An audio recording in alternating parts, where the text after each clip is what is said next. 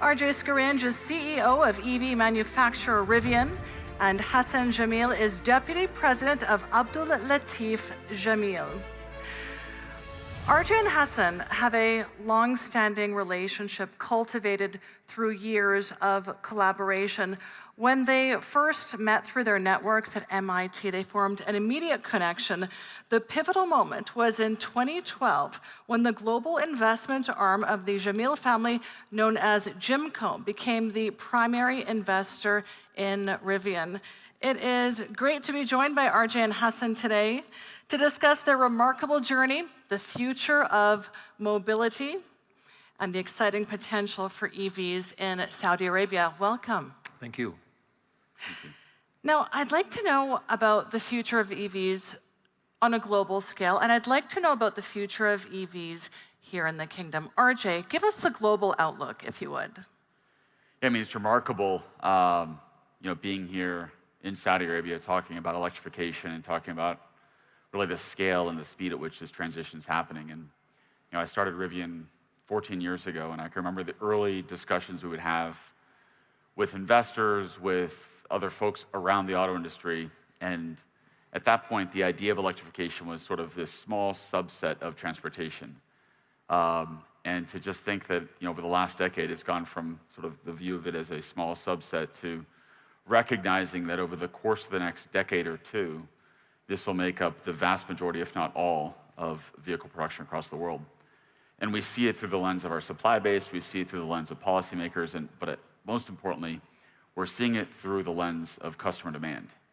And even customers today that, that aren't buying an electric vehicle, they're, for, for I'd say the first time, recognizing that this internal combustion vehicle may be their last or second to last. And they're even thinking, when is my last internal combustion vehicle purchase? And so we see just a massive shift and, and a tremendous level of excitement around the products to come, what, what's, what's that to bring in terms of new features, new capabilities. Uh, so it's, it's, I'd say, one of the most exciting times one can imagine in the transportation space right now. I'm in that place. Who else is in that place where they're contemplating making the move to an EV? How many people in this room? And how many people are already driving an EV in this room? We could say roughly 20% are driving EVs. No surprise, Hassan and RJ are driving EVs. Hassan, share with us your forecast for the Saudi market in particular, if you would. Well, first and foremost, I'd like to say thank you for, for you being here, and, and it's really an honor for me, and it's really wonderful to be a part of the FII. Um, you know, we're seeing so much. I think the common theme, you know, that I hearing more and more here in FII is everyone's energized, everyone's so excited in their respective industries.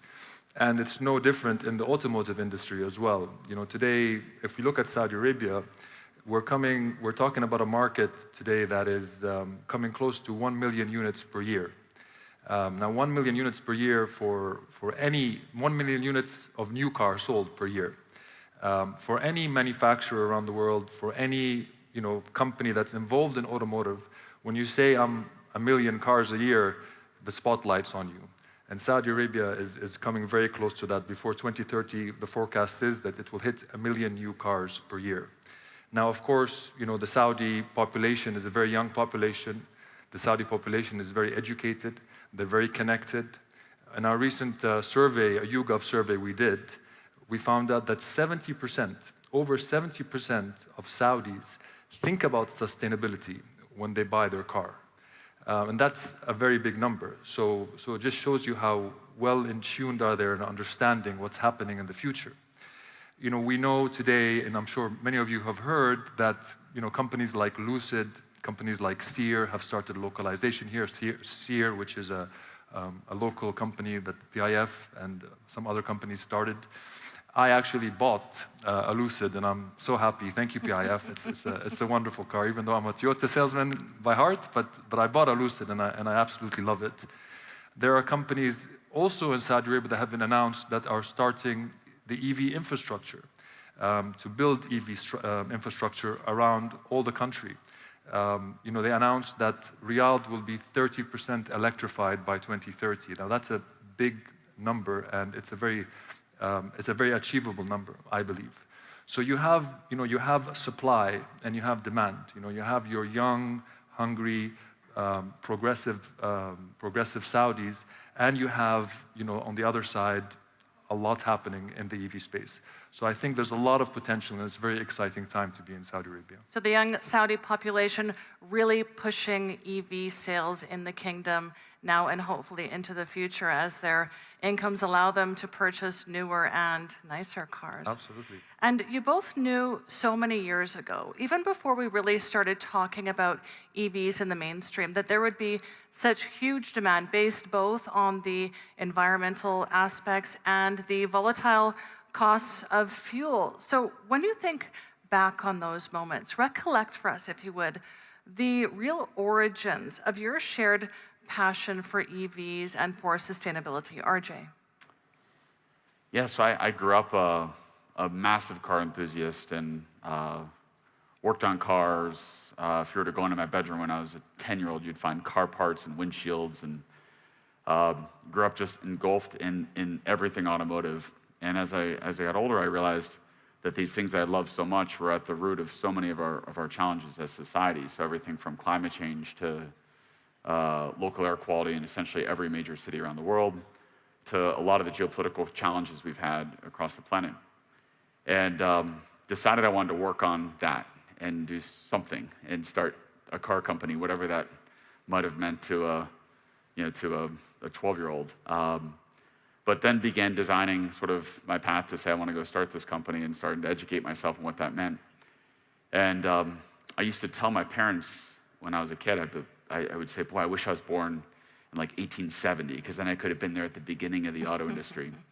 And I look at where things are today, and I'm so happy uh, I'm alive at this point because I think the transition we're going through in the scale uh, is even more exciting than going from a horse to a car. Uh, the, the, scale of taking a global fleet of one and a half billion combustion powered vehicles and transitioning those to electric, uh, taking a grid infrastructure uh, that's built largely on fossil fuels and converting that to renewables, um, and then, of course, connecting the vehicle and, and seeing more and more uh, self driving and AI make their way into the vehicle. It's just such a remarkable time. So that was sort of all fed into uh, my decision to start the company. And fortunately, uh, you know, as, as shortly after starting the company, I met Hassan and met the, the Jameel family. And they've been such a critical part of the journey and, and such an amazing part of the journey. And um, so it, it's sort of interesting our paths, uh, paths combined on this. And also, I mean, you realize your childhood dreams as a pioneer in the EV industry. So, how remarkable is that? Hassan, from where does your really passion for this stem?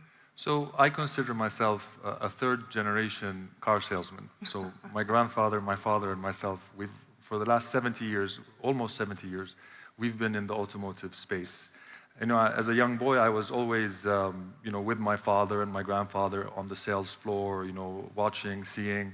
I spent quite a long time in Japan, you know, studying there and also working for Toyota on the production line, understanding what Toyota Way meant, Kaizen, the value chain in, in the automotive industry. So, so that was kind of my, my, experience in automotive. I tell people if you open me up, Toyota comes out. You know, it's, it's just everything I, I do and did was Toyota. So a, a big passion for Toyota. As a family, we've always been interested in impact investing. Um, and of course, EV is a big part of that. Um, so, you know, that's when I met RJ. And I think, you know, one thing him and I have in common is we love adventure. Um, you know, we, we did crazy things in our life. And, and maybe one of the things we did was we climbed, I didn't want to mention this, but we climbed one of the largest flagpoles in, in the world, which was in Jeddah. You know, we climbed it together. So we both have a adventurous spirit, and I think that really reflected, you know, what Rivian is today, at least from my, my eyes. You know, we had that in common. Well, when we look at the numbers, the IEA says 10 million EVs were sold globally last year, and it anticipates this year the world will see 14 million EV sales. So RJ probably made the right decision when you ventured into the EV industry. Looking back, besides your childhood dreams, what really pushed you to enter the EV industry? Um, yeah, when you think about the scale of the challenge in front of us, I think often um, we wrongly look at electrification and, and the, the tasks in front of us as an industry and think of it as if one company or two companies can solve it, whether it be energy or grid or vehicle. And, and the scale is just uh, almost overwhelmingly large. So globally, we build anywhere from 80 to 90 million vehicles a year as an industry. As I said, the, the, the existing car park is around one and a half billion vehicles. And we have to, as, as an industry and a society, create a, a wide range of different options for consumers. So different form factors, different price points, different brand positions. And um, you know, in, in, thinking about Rivian, we wanted to go out and actively drive that. And we think about impact both through the lens of the products we create, uh, but importantly also through the products that we can help inspire. When I say inspire, inspire through competition, inspire through shifting mindsets. And a big part of how we defined our strategy was we wanted to, to launch the brand, launch our company with a set of products that really reset expectations in terms of what was possible. Um, so I remember in, in 2013, 2014, I'd be talking about we're going to build an electric SUV or an electric truck. Uh, and the response would be some version of, well, can it drive over rocks? What if it gets wet? Will it short out? Um, and so we said, well, we're going to make the most capable off road vehicle in the world and simultaneously make it an incredible vehicle on road and simultaneously make it something you can live with every day. Uh, and that was how we designed the brand strategy and the product strategy to really reset expectations and, and help elevate how broadly consumers would think about electrification. And in the, in the process, we hoped we'd, we'd spur competition. We hoped there'd be other companies that say, hey, we need to accelerate our electrification plans. We need to create products to compete with, with Rivian's products. And in the end, the consumer benefits. The consumer benefits through choice, through lots of options. And we're still very early in this process. You said, you know, we did 10 million and uh, we're going to do 10 million this year. We'll do 14, 15 million next year in terms of electric vehicles. But that still represents, call it 15% huge of global growth. demand. So there's huge growth opportunity and a huge need for more product to, to come into the space. Now, Rivian was founded in 2009, as I mentioned earlier, and Jimco has been its major investor since 2012. So, Hassan, you've really been working together for most of Rivian's existence. What was it that made Jimco invest in Rivian in those early days when the future was so uncertain?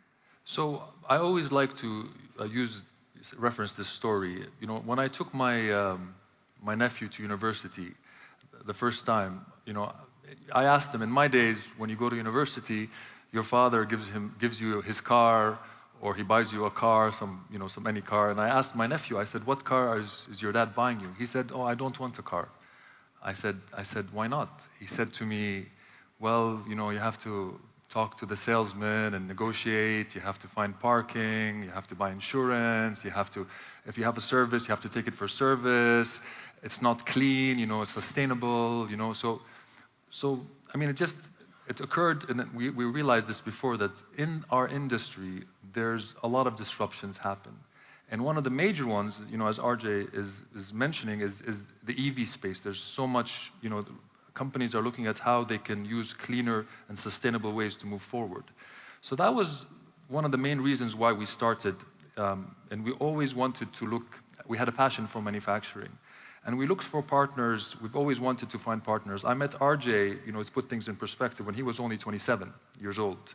He's a lot older now, uh, but he was only 27, and we started talking, and we started saying, you know, let's let's build a car company together. Let's, you know, and he had, he's somebody who I met, who had, who when I met him, had a macro, you know, understanding of what the whole industry, but also very uniquely so uh, a micro understanding of, you know, he'll tell you the nuts and the bolts of any single car. You tell him, what's this? He's like, he'll tell you, this is this kind of nut, this is this kind of screw, this is this kind of screw. Actually, the only thing he can't do is if you ask him to draw a car, he can't actually draw a car, you know, on a board. He's That's like, ironic. Oh, five-year-olds can draw a better car. But, but anyway, sorry, RJ, but, but anyway, my, my, my point is, you know, he understood what was happening, or we, we believed we understood what was happening, and that's how the journey began in 2012. I met 2011, bring in 2012, and here we are today. Well, thank you so much for being with us today. Unfortunately, we've run out of time. Thank you so much for doing your part to preserve our planet and for sharing the story of your partnership and your friendship with us. Thank you, RJ thank and you. Hassan. Thank you. Thank you. Thank you.